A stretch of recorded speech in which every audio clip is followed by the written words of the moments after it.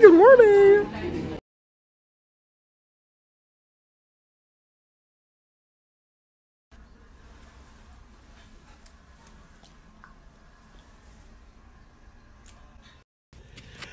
Hi guys.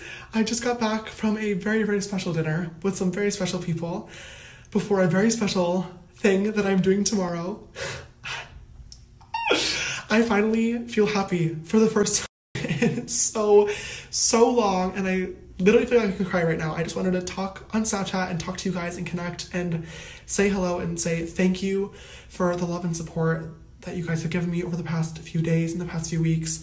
Um, I, I've been going through it. Um, just dealing with a few different things. Um, and I've been really struggling with my mental health and just wanting to get up in the morning and feeling motivated and knowing who I could talk to.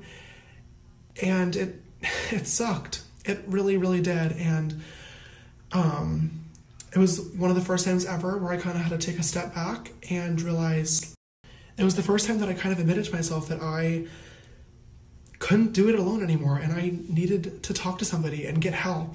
And I feel like I've always been a very, very strong person, both publicly but also in private too, like towards myself. And it was scary coming to that conclusion, I'm not gonna lie. Um, but I'm so glad that I did. I took a week off, I detoxed. Um, I still check social media every once in a while. There's no way that I could ever actually just like power down.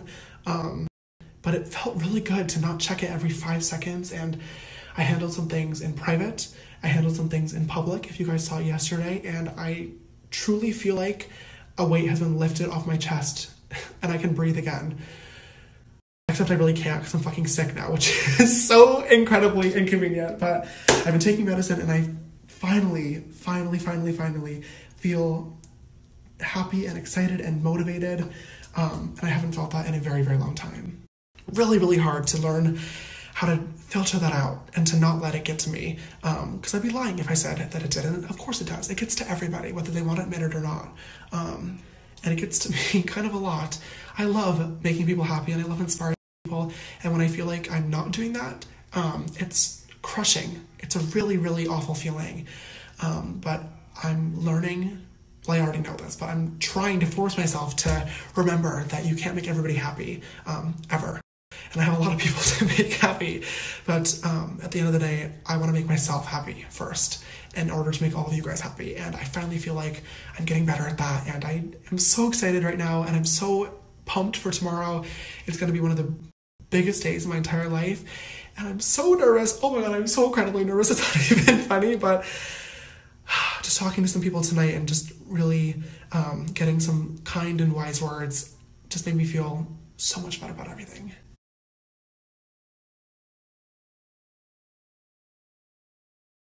Like, sometimes when it's purple, you go down. Maybe not. Yeah, that's like, uh, I'll be careful with like, yeah, I mean, Yeah, okay. you smell dick. Okay, ready? Smell like a Kind of gym rhymes locker. with rank. Yeah, yeah. Oh.